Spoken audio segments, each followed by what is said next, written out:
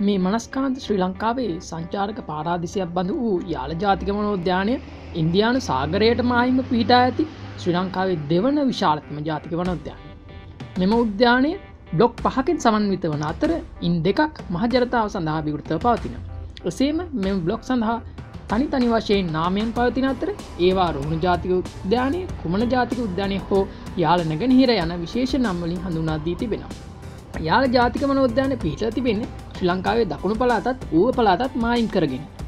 වර්ග කිලෝමීට නමසේ හැත්ත නමයක් පුරාට පැතිරී තිබෙන මෙම වන උද්‍යානය කොළඹ සිට කිලෝමීට තුන්සියක් දුරින් පිහිටල තිබෙනවා. වර්ෂ එද්දාස් නමසයේදී යාල වනෝද්‍යානයක් ලෙස නම් කරන ලද අතර එය විවිධ සත්වවර්ග සඳහා ප්‍රසිද්ධියකු සුරුන් ලබනවා. විශේෂයෙන්ම ශ්‍රී ලංකා අලියන් ශ්‍රී ලංකා දිවියන් හා ජලද පක්ෂීන් සංරක්ෂණයට මේ වනෞද්‍යානය බොහෝ සෙයිම වැදගත්වෙන කියල කියන්න පුළුවන්.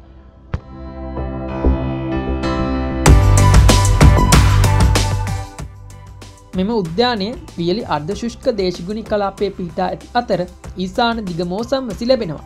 තෙත් මෝසම් වනාන්තරවල සිට මිරිදිය හා සාගර තෙත්බිම් දක්වා වීද පරිසර පද්ධති රසක් මෙහි පැතිරී පවතිනවා. ශ්‍රී ලංකාවට ආවේනික පක්ෂි විශේෂ හතක් ඇතුළු පක්ෂි විශේෂ දෙසිය පහලවක් මෙම වනෝද්‍යානය මගින් ආවරණය කනු ලබනවා. ඒවගේම උද්‍යානයේ ශීරපායි සත්ව විශේෂ හතලිස් හතරක් හමුවන අතර ලෝකයේ දිවියන් ව්‍යාප්ති ගානය ඉහන වනෝද්‍යානයක් ලෙසද යාල ජාතික වනෝද්‍යානය හඳුන්වන ලබන.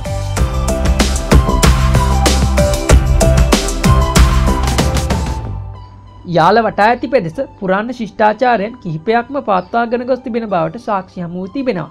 විශේෂයෙන්ම වැදගත්වන වන්දනා ගමනාන්ත දෙකක් වන සිතුල් පහු සහ මගුල් විහාරය පිහිට තිබෙන මේ උද්‍යානය තුළ.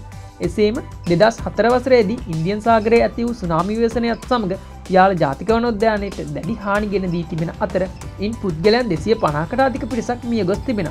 එසේම උද්‍යානයේ ආරක්ෂිත තත්වය වැඩදියුණවීමෙන් අනතුරුව දස් නමේවසරේ සිට සංචාරක ආගමනය ඉහළ ගොස් තිබෙන බවටද වාත්තාපී තිබෙනවා.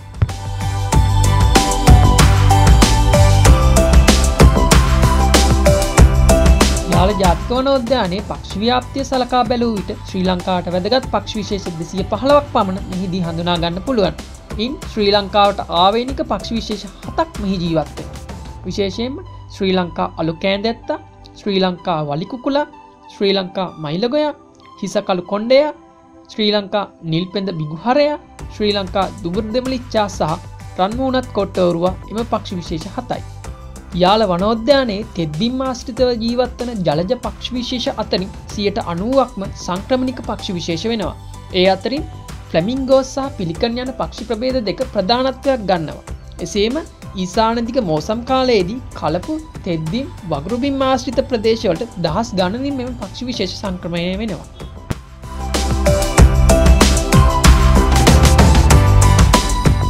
යාල වනෝද්‍යානයේ ශීරපායන් ව්‍යාප්තිය ගත්තිට ශීරපායන් විශේෂ හතලෙස් හතරක් හඳුරාගන්න පුළුවන් ලොව ඉහළම දිවියන් ගහනයකට හිමිකම් කියන මෙහි යාල පළමු අර්ථය පමණක් තනි දිවියන් විසි පහක් පමණ නිරීක්ෂණයට බඳුනුව තිබෙන. එසේම අලිරංචු තුන්සියත් තුන්සිය පණහක් පමණ මෙහි හඳුනාගන්න පුළුවන්. එම අලිගහනය කාලෙන් කාලයට වෙනස්සන ස්වරූපයක්ද හඳුරාගත හැකි. ඒවගේම දිවියන් අලියතුන් සහ වල්ජල මීහරක් යාල වනාන්තරේ තර්ජනයට ලක්වී ඇති සතුන් අතරද ප්‍රධානත්වයක් ගන්න බවද කියන්න පුළුවන්. එසේම යාල වනෝද්‍යානයේ උරගයන් විශේෂ හතලිස් හතක් හමුවන අතර ඉන් හය දෙනෙකු ආවේනික විශේෂ වෙනවා. කිබුල් විශේෂ කැස්බෑ විශේෂ කටුසු විශේෂ සර්පයන් විශේෂ ඒ අතරින් ප්‍රධානත්වයක් ගන්න බවද කියන්න පුළුවන්.